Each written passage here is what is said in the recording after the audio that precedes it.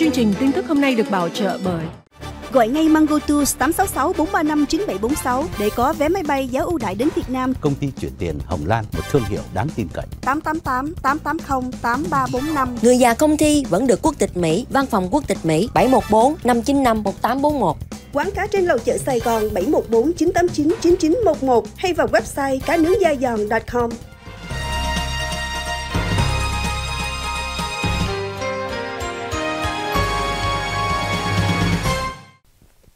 Thảo Yên. Hoàng Trọng Thùy trân trọng kính chào tất cả quý khán thính giả từ Cà phê Sáng sang Thời sự Thế giới. Trong ngày hôm nay tiếp tục với các bản tin đáng chú ý và lẽ đương nhiên California tiếp tục đương đầu với các đám cháy dữ dội và gần nhất trong khu vực quận Cam. Thưa quý vị Trabuco Canyon à, thời tiết ngày hôm nay thì đỡ hơn nhiều Thảo Yên hả? Vâng ờ, thưa quý vị và thưa anh ờ, hôm nay là coi như ờ, giảm mười mấy độ so với liên tục gần một tuần mà nhiệt độ nó có khoảng chín mươi mấy lên đến 100 hơn đó. Hôm nay thì ở Westminster Garden Road cao nhất cũng khoảng đầu 86 cho đến 88 độ thôi thưa quý vị. Nhưng mà buổi tối đó xuống lại được sáu mươi mấy độ. Qua đến ngày mai rồi sụt hẳn nữa. À, ngày mai còn có bảy mươi mấy và cái nhiệt độ bảy mươi mấy này sẽ kéo dài luôn qua cho đến tuần sau. À, nhiệt độ mát mẻ nhiều là lắm rồi thưa quý vị. Và từ ngày hôm qua à, khoảng 1 giờ thì cư dân ở quận Cam, đặc biệt là khu vực phía Nam, à, nó nằm ở trong à, vùng núi à, về hướng biển Laguna Beach thưa quý vị, à, Santa à, Maria à, và ở cái nơi gọi là Trabuco Canyon à, trong cái vùng thung lũng thì ảnh hưởng à, do một trong những nhân viên họ tìm cách phòng cháy chữa cháy. Nhưng rồi một cái thiết bị đó không biết vì lý do nào nó nẹt lửa. À, theo bản tin ghi nhận đó là bởi vì cái khu vực mà cháy à, có nguy cơ trên các vùng à, núi cao. Có những cái rừng rậm mà trước đây chúng ta thấy là mưa xuống nhiều đó cỏ khô nó mọc lên thành từng bụi bụi. Thì à, uh, Trabuco Canyon cũng mấy năm nay giờ chưa có cháy cháy ở các vùng khác. Thậm chí ờ, là Guna Beach ở trên vùng núi cao cũng cháy nhỏ. Nhưng mà khu vực này thì chưa cháy. Thế thì để bảo đảm là sẽ không cháy thì các nhóm ờ, uh, chữa lửa của quận Cam đó họ mang những cái thiết bị những cái cục tảng đá để chặn để tránh cho nếu mà xảy ra cháy đó thì nó không cháy xuống nhà dân. Thế nhưng trong lúc mà xe tải chở những cái tảng đá này và những cái bục để mà ngăn chặn cháy đó, thì nó xẹt lửa. Và cộng thêm nữa là trời nóng rồi gió, vân vân. Thế là mới đầu nó chỉ là một cái đám cháy cỏ khô nhỏ thôi.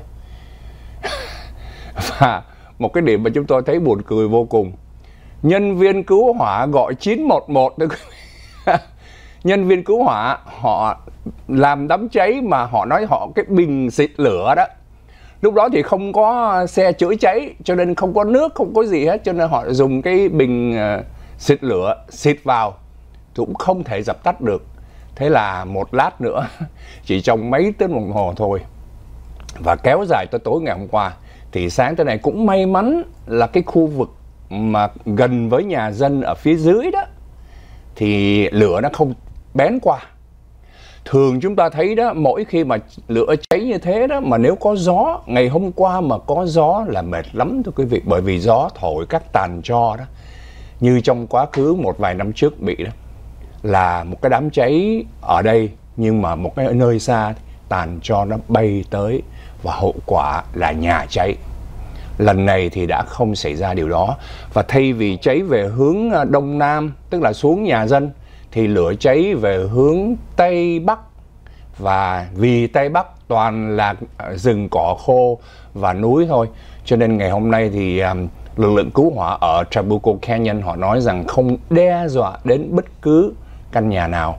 Nhưng mà ngày hôm qua đó cả ngàn cư dân ở Trabuco Canyon đặc biệt những người sống ở sát núi đó họ vô cùng sợ hãi. Họ không vào được nhà bởi vì đã có lệnh di tản và thay vào đó, có thể là một số người đã phải ngủ ở khách sạn vào qua đêm ngày hôm qua. Tình hình à, tài chính ngày hôm nay có một cái tin không được vui là sáng nay thì Dow Jones à, tăng, rồi Nasdaq cũng tăng.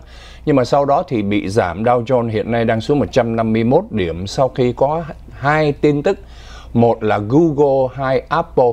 Hai công ty này đã thua cuộc trong các vụ kiện của châu Âu và Apple thì ở Ái Nhĩ Lan, nhưng mà Google thì đang đương đầu với những cái vụ kiện liên quan đến chống độc quyền. Mà cái điều này cũng khổ, quý vị thấy không? Một cái công ty quá lớn luôn. Và người người dân á, người ta cứ nhảy vào Google để ta sử dụng thôi. Nó quá tiện lợi. Bây giờ đi đâu mở phone lên là Google Maps hoặc là những cái app của Google. Mà không cần chống, không cần độc quyền thì tự động một cái app hay, cái app dễ sử dụng và phổ biến rộng rãi thì người dân họ sử dụng thôi. Nhưng mà ngược lại đó, các công ty nhỏ sản, ngành công nghệ mà sản xuất app đó, thì họ kiện, họ nói Google tìm cách ngăn chặn cho họ đi vào thị trường. Bằng cách lập ra những cái thị trường app mà những cái app khác của những người developer mà nhỏ đó, thì họ không có nhảy vào các thị trường này, khiến cho họ không có làm ăn được. Bởi vì, quý vị cũng nghe cái chữ gã khổng lồ đó, bởi vì cái tên khổng lồ làm sao mà châu chấu đá xe được, cho nên họ không chịu nổi. Dẫn đến cái việc châu Âu kiện bao nhiêu tỷ Mỹ Kim đó thì cả hai đại công ty của Mỹ Google và Apple đều bị thua kiện trong ngày hôm nay và dẫn đến cái tình trạng mà Dow Jones rớt 184 điểm, Nasdaq ngược lại thì lên được 70. À, tin tức thì khấm khá hơn nhưng mà con số thì không được khấm khá bởi vì vẫn còn ở dưới mức 17.000 trong khi mức kỷ lục của Nasdaq là 18.000 điểm hơn. S&P 500 lên được 8 điểm thưa vị. Công trái phiếu 10 năm là 3,66%. Dầu à, xuống wow, 2 đồng 73 sen. 65 đồng 96 sen. Như vậy nếu mà bước vào mùa thu 20 tháng 9 tới đây là nước Mỹ bước vào mùa thu, người ta hy vọng là giá xăng sẽ xuống đậm bởi vì từ năm 2021 tới giờ đây là bản tin breaking news ngày hôm nay. Dầu xuống dưới mức 70 đô la. Mặc dầu OPEC cắt, quý vị thấy trong thời gian qua các um, quốc gia sản xuất dầu hỏa Ả Rập Saudi, Nga, Iran họ nỗ lực muốn làm tăng giá dầu bằng cách cắt giảm sản lượng. Nhưng mà Hoa Kỳ bây giờ trở nên quốc gia sản xuất dầu hỏa lớn nhất thế giới, nước Mỹ và vì thế điền vào chỗ trống và hỗ trợ cho châu Âu vì cái cuộc chiến Ukraine và Nga. Và thậm chí cái người tiêu thụ đó, bây giờ giảm tiêu thụ thì họ đâu có lái xe, họ không có đi bay máy bay nữa, thì xăng, cộ, dầu, cặn, vân vân cũng giảm theo. Xuống tới 2 đồng 7 66 đồng, thưa quý vị. Đây là cái số mà từ 2021 đến giờ chúng ta mới thấy.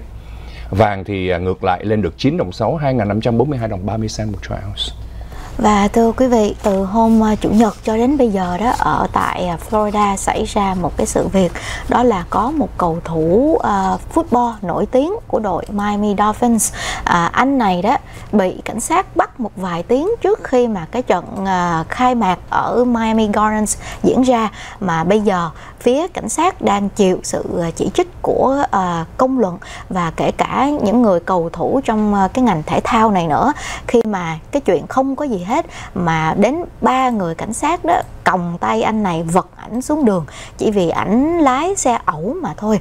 Thì à, chuyện xảy ra từ hôm chủ nhật nhưng mà mới ngày hôm qua trước cái sự chỉ trích của dân chúng với lại tại vì trong cái chuyện này đó à, liên quan đến hai ba cầu thủ nổi tiếng. Cho nên là phía cảnh sát họ đã phải nhanh chóng đưa ra cái đoạn body camera của những người cảnh sát có liên quan để mà một phần giải thích cho cái hành động của cảnh sát mà bây giờ đó bị phía luật sư của anh cầu thủ này và kể cả đội à, Miami Dolphins họ nói là cảnh sát đã excessive là um, giống như bạo lực quá mức cần thiết. Thì à, câu chuyện đó là liên quan đến anh Tyreek Hill. Thưa quý vị anh này là giữ um, ảnh cầu thủ nhưng mà anh chơi cái cái cái cái position là wide receiver à, là một ngôi sao trong cái đội Miami Dolphins. Thì đây là hình ảnh của hôm uh, chủ nhật thưa quý vị.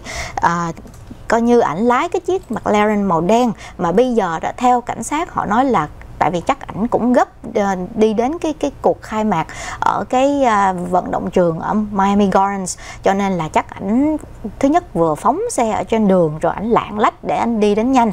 Nhưng mà xui cho ảnh là ảnh bị à, các cảnh sát ờ, mô tô đó thấy được cho nên là họ bắt ảnh à, ngừng xe tấp ở bên đường. Thì lúc ban đầu đáng lý ra là cảnh sát chỉ đưa um, giống như ticket thôi nhưng mà thật sự tại vì ban đầu anh này có vẻ là ảnh nổi tiếng rồi ảnh giàu có nữa. Thì bây giờ đó đầu đuôi câu chuyện đó là khi mà cảnh sát bắt ảnh ngừng ảnh có ngừng nhưng mà ờ, ảnh cảnh sát họ đến bên cái cửa người lái rồi thì ảnh không hạ kiến xuống mà cái hai cái, tất cả các cửa kính á, thì đen thui cho nên người cảnh sát gõ cập cập cập cập lên cái cửa thì ảnh kéo cửa xuống có một chút thôi. Nhưng mà ảnh chưa gì ảnh nói cảnh sát là với cái giọng rất là hách dịch là đừng có gõ cái kiến của tôi như vậy. Cho nên là khiến cảnh sát tức tối chúng tôi sẽ quay trở lại tiếp tục phần tin tức này quý vị nha. Tin tưởng người bạn nên là em tới đây và em rất là hài lòng về cái phục vụ cũng như là cái ờ, văn phòng mới của mình. Và thế cho nên là cũng uh, giới thiệu đến mọi người là nếu như có nhu cầu về răng thì hãy liên hệ tới văn phòng. Đúng vậy Precious Implant Dental ngay trên đường Bosa phục vụ mọi nhu cầu nha khoa với các bác sĩ nhiệt tình nhẹ nhàng tận tâm. Phòng lab ngay tại chỗ giúp trồng răng, cấy răng, làm răng giả, răng sứ, nhanh chóng thuận lợi để phục vụ từng bệnh nhân thật chu đáo. Xin vui lòng gọi lấy hẹn 949 629 0103 Chợ Tràm Chim trên đường Westminster trong khu chợ Sài Gòn là nơi lý tưởng để hợp mặt bạn bè với các món tôm hùm xào đặc biệt, tôm nghêu hào sò nướng lẩu dê, món mới cá nướng da giòn thơm ngon không đối thủ. Cuối tuần tăng cường thêm món gà nướng lu, đặc biệt đặc biệt 6 hay party tray cho 10 người chỉ từ 220 đồng, tặng thêm khai trái cây trắng miệng hay 5 khai có luôn 5 pounds lobster chỉ có 320 đồng, free delivery trong vòng 5 mai. Quý khách đến tiệm ăn trên 100 đồng sẽ được tặng một con cá nướng. Chợ Tràm Chim mở cửa mỗi ngày từ 10 giờ sáng đến 11 giờ tối. 714 951 3194